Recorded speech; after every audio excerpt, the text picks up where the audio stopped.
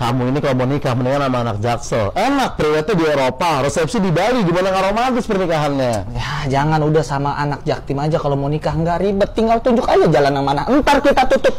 Eh, tapi kalau berkeluarga, itu sama orang jaksel. Karena anaknya nih, baru umur 2 aja udah pintar bahasa Inggris. Kelas 1 SD nonton Netflix, udah nggak perlu pakai subtitle lagi. Ah, pinter-pinteran juga anak jaktim. Pokoknya nih kalau malam nih izin sama orang tua mau nginep ke rumah teman. Padahal mah nonton balap, pinter banget kan? tapi pas nikahannya tuh kalau di jaksel tuh wedding band aja udah Afgan tulus rosa gitu jaksel ngapain media mas kak kurang cocok buat resepsi Ya, tapi kan anak-anak jaktim dari kecil udah pinter musik. Lu lihat tuh main kentrung jago, ya kan? Main jimbe jago.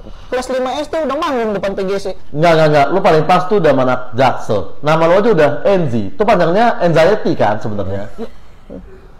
Jaktim lebih fleksibel. NZ bisa disingk bisa disamarin jadi Enzai, Enskuy. Iya kan? Keren banget. Tunggu, tunggu, bentar, bentar, bentar, bentar, bentar. Kalian udah siap belum untuk jemput gue nanti di rumah kalau misalkan jadi suami gue? Lah siap, Jemput siap doang lu. iya. Emang di mana jemputnya? Tangsel. Tangsel. Oh, deket-deket sekdol situ gue nggak ikut gue sorry sorry sorry Maksud gue Tangsel kalau jam 5 sore di Serpong macet gitu maksud gue.